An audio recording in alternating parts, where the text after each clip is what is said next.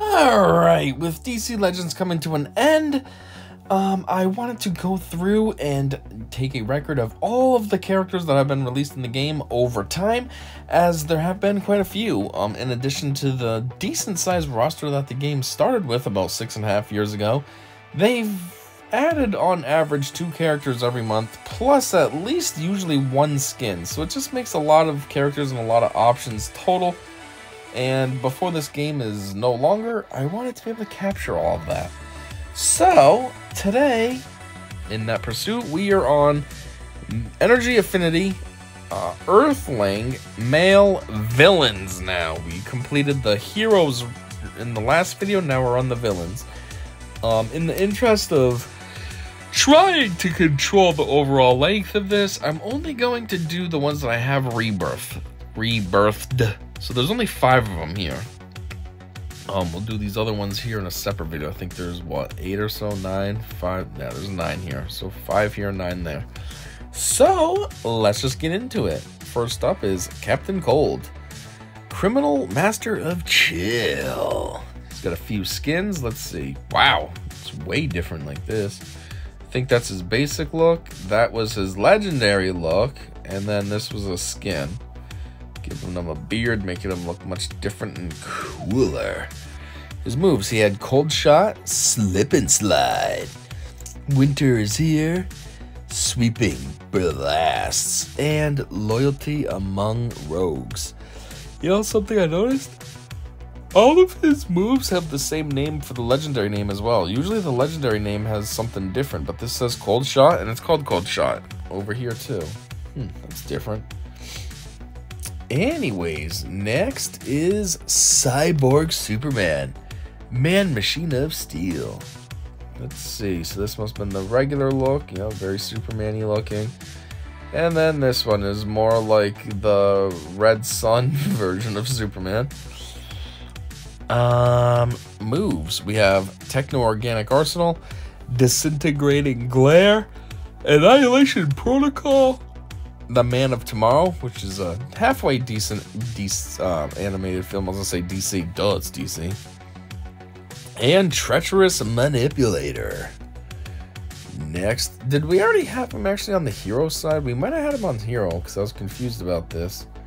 And his skins were already unlocked, so we very well, we might have already looked at him, but I forgot, so I guess we're looking at him again. Next, we have Lex Luthor's Survival Support Suit. He's got a bunch of skins. Um, there's the... Whoa, where the heck did this one come from? What is this? I don't remember buying this or anything. What is this? Wow, this is my first time seeing this. He's got like, um... Oh, what do they call it? I'm drawing a blank now. The, the, the, the stuff from, um... Iron Man 3 that makes the people be able to have those powers, so then Pepper gets some. But then that's like the only time they ever talk about it. So apparently she lost it. What is it called? I, I feel like it's like Infernape or something, but that's a Pokemon. I don't know. Um, dang, I feel like I almost had it again. I don't know, but you probably know what I'm talking about. If you like DC, I'm sure you're aware of Marvel movies. And then he's got like a black suit, um, bottoms, black suit like from a Lantern Corps. And then he's just like what the heck? This is weird. I didn't know I had this skin. Anyway, this was the regular version of Lex. Then his legendary, the Extremist. That's what it was called. Anyways, legendary. This suit, which is a straight up suit, I used this one for a very long time because for the longest time, Lex was my leader um, and I preferred this outfit the best. It was cool. It was just nice and concise, just a regular suit. He is supposed to be a business guy, so. Then I got this suit and thought this was kind of cool. Because, you know, Lex is all about trying to take down Superman stuff.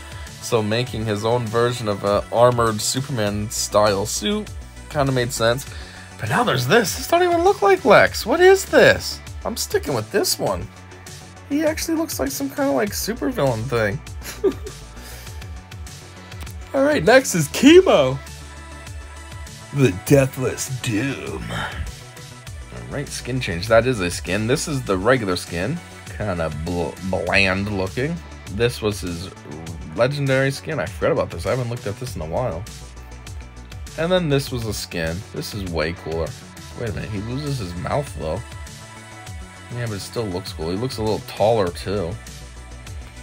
Anyways, his moves. Chemtrail, Toxic Spill, Fallout, Corrosive Anatomy, and Sticky Composition. And I just thought of, did I go over his moves? No, I didn't. I got distracted by his skins.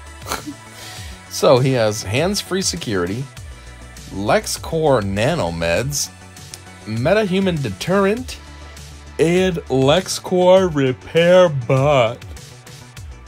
And Metal, Metal Human deterrent had two legendary upgrades. It looks like one might have been um, apply silence to an enemy, and then the second one must have been call and assist. Alright. Chemo. And then next we have Savitar, which, I guess, spoiler alert?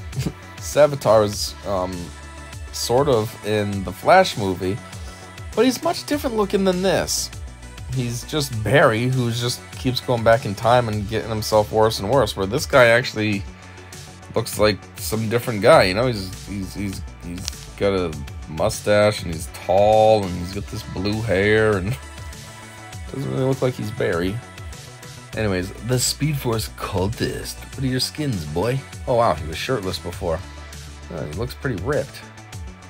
This way he's all armored. Anyways, his moves. Kinetic transference, null inertia, delayed effect, deacceleration, and direction. Also call kinetic transference. Okay. And this might be it, right? Yes, it was. So let's go back to the beginning and then read their bios. So, Captain Cold. Bio number one Affiliations Rogues Gallery. Powers. With his trademark Cold Gun, he freezes opponents to remove their advantages, slow, and stun them.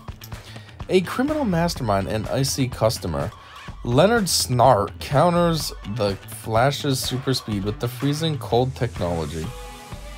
Growing up in an abusive home, the only warm spot in Leonard Snart's heart was for his sister. Embarking on a criminal career, Snart ran afoul of the Flash, but conceived of a plan to counter the hero's incredible speed. Stealing specialized freezing technology, Snart has run afoul of the Flash on numerous occasions.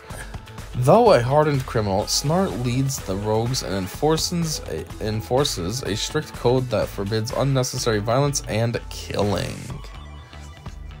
Aww. He's a good bad guy. Cyborg Man of Steel. Let's see what your story's about. I remember this? Superman Revenge Squad and Kryptonian. Nope, don't remember either of those. With powerful immunities and always increasing shields, he shrugs off critical hits to attack with debilitating strikes.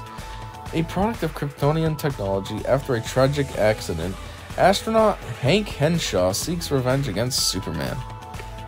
During a space mission, astronaut Hank Henshaw and his wife were killed in an accident, but Henshaw survived as a disembodied consciousness. What does that mean? Was he just a head that was still alive? How, how are you a consciousness, eh, but then at the same time disembodied? That's weird. Doesn't make any sense. Like, that can't be. Anyways, managing to interface with the Kryptonian birthing matrix that carried Superman to Earth, Henshaw used it to give himself a body with Superman's DNA and resurrect himself as a man machine hybrid. Blaming Superman for the death of his wife, Henshaw now obsessively seeks revenge against the Man of Steel. Next, goofy looking Lex. Affiliations Injustice League, Secret Society of Supervillains, Powers, genius inventor with armored survival suit of his own creation. Genius businessman, inventor, and scientist, Lex Luthor sees himself as humanity's true savior, even if he has to threaten society to save it. The only thing that exceeds Lex Luthor's genius is his arrogance and uncompromising hatred for Superman, viewing him as an alien menace that threatens Earth. Not to mention being an affront to mere humans such as himself, Lex directs his unrivaled scientific intellect and vast financial resources towards thwarting Superman. Lex Luthor could have been one of Earth's greatest champions if not for his single minded envy and supreme arrogance.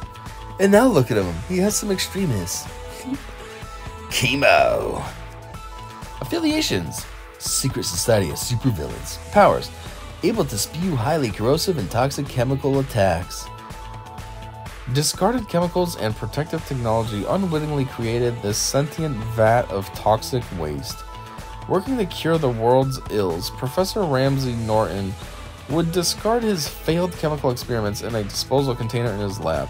But Norton's failures resulted in one startling success the creation of the life form known as chemo. Whatever was in that container that brought the toxic sludge to life, the being that emerged has a rudimentary intelligence and aggressive nature that makes it a noxious menace. I always think about how everything everything that they always try to create that's like alien is always like us, you know, two legs, two arms, a head.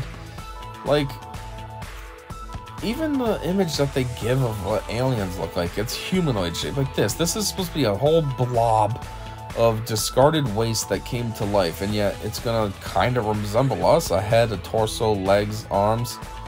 Why not have a ridiculous amount of legs, or have like a Grimer bottom, you know, Grimer and Muk bottom, but then have like tentacles for arms and like a weird head that's super disproportionate, you know, in accordance with our human standards. Like, it's always the same. Just because we look like this doesn't mean other life forms would too. Even in Star Wars, Star Wars tries to be more imaginative, at least the old ones. I'm thinking the, of the actual George Lucas movies, not the Disney ones. But like, it's always just humanoid. Like the guy that uh, in the cantina that's trying to start trouble with Luke, and then Obi Wan has to like come save him. You know that guy? Yeah, he might have like a piggish face, but he's still humanoid. Like, why aren't things weird? You know, everything wouldn't just be humanoid. I don't know. Anyways, Savitar, the Speed Force cultist. Your story is Speedster. Savitar focuses on stealing speed from his challengers and weakening their defenses against his powerful critical strikes. Savitar gained his powers during an airplane accident and has dedicated his life to the Speed Force ever since using his abilities against those who challenge his beliefs. Savitar was a pilot during the Cold War until his plane was struck by lightning. This incident left him with superhuman speed and the ability to steal kinetic energy from his environment. It also left him with such a strong faith for the Speed Force that he decided to become Savitar in honor of the Hindu god of movement. And I think that is it. Yep, that is all. We were just looking at the rebirth one, so that was those five, and I'll have what nine more in the next one. But makes for a much shorter, more condensed, concise, and easy video than doing 14 in one. So, yeah. Anyways, that's all I got for now. So, uh, thanks for checking us out. And until next time, I said see ya.